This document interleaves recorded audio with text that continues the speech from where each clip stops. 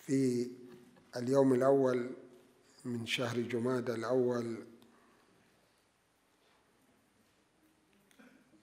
والذي يصادف هذا العام يوم الأحد أو يوم الاثنين القادم هذا انتقل إلى جوار ربه المرجع الديني الفقيه الكبير الشيخ عبد الله المعتوق قدس الله نفسه الزكية.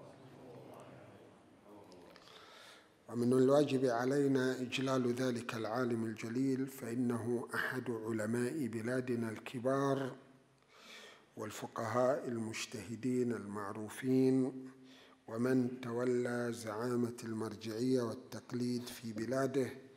جزاه الله خير جزاء المحسنين. وتغمده الله بواسع رحمته وأسكنه الفسيح من جنته. ولقد ترك اثرا كبيرا في بلاده بل ترك أثره الكبير الإقليمي في كل المنطقة على المستوى الإقليمي القطيف الأحساء البحرين البصرة بوشهر خوزستان وما حولها.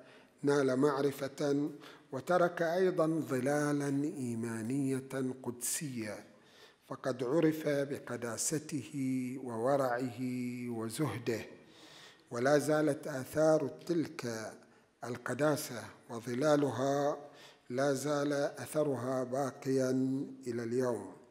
ومن كان في عمري أيضا أدرك ذلك الجيل الذي رباه سماحته على يديه. فقد أدركنا جيلا من الرجال المؤمنين الأبدال الأخيار الذين كانوا من حضار مجلسه وحضار مسجده ورباهم على يديه رحمة الله عليه تربية صالحة مؤمنة عرفوا في البلاد هنا بإيمانهم كذلك وورعهم وتقواهم وزهدهم وأدركناهم كرجال معروفين من الأخيار الأبرار المؤمنين المتفقهين والمتورعين في أمور دينهم. جزاه الله خير جزاء المحسنين.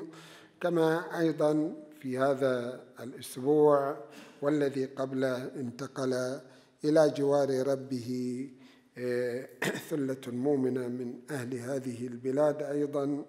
من سواء الحاج محمد العقيلي أو والدة آل القروس والدة آل درويش. وأسأل الله سبحانه وتعالى أن يتغمدهم جميعا بواسع رحمته يسكنهم من فسيح من جنته. جميعا نقرأ إلى أرواحهم سورة مباركة الفاتحة.